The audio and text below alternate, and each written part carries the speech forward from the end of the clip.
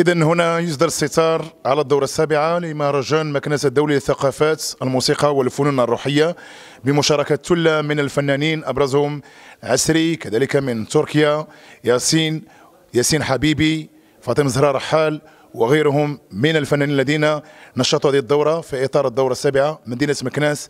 عاشت على إيقاعات الفن بمختلف تجلياته دون أن ننسى الطريقة البوشيشية الرسمية التي كانت حاضرة على مستوى اليوم الأول يومين اثنين عرف من خلال مكناس مزيجا من الفنون الصوفية وأخرى تتغنى بالموروث الثقافي المغربي. أنا نلقاكم في الدورة القادمة. هذه تحيات منشطة الدورة مباشرة من عاصمة الزيتون مكناس.